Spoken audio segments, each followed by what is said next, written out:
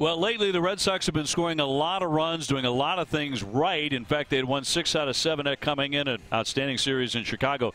Not a whole lot to talk about in this one. You know, sort of a dud offensively, but you got to tip your hat to you know the other side of the field. John Means, he threw the ball as good as he's probably thrown all year long. He has been their best starting pitcher. You know, he mixed it up a little bit. We always knew he had a good changeup, but you know he went seven innings strong. I mean, you talk about three hits on the night. That's it and it's all about the grand slam in the second inning.